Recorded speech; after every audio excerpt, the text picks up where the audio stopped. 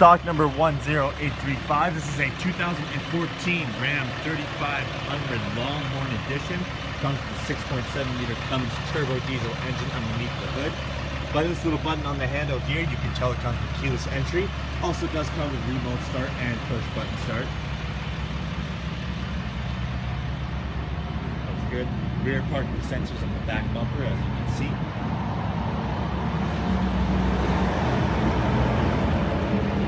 And we'll take a quick peek inside.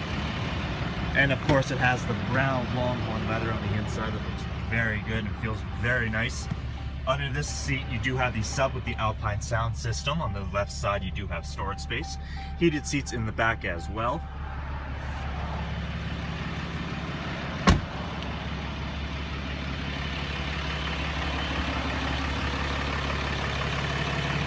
Take a quick peek up front now in this truck.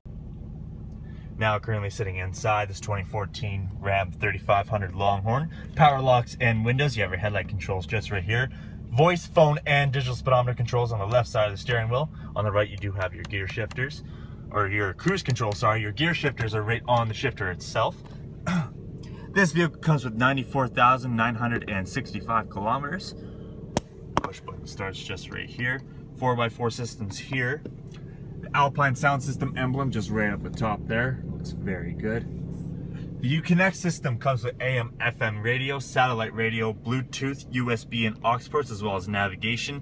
Heated and vented seats up front, as well as a heated steering wheel and a backup camera. Dual climate control, which includes AC, defrost, and rear defrost, as well as more controls down below, including your tow hauling package, parking sensors, and seat controls. Inside the center console is where you will find your aux and USB port.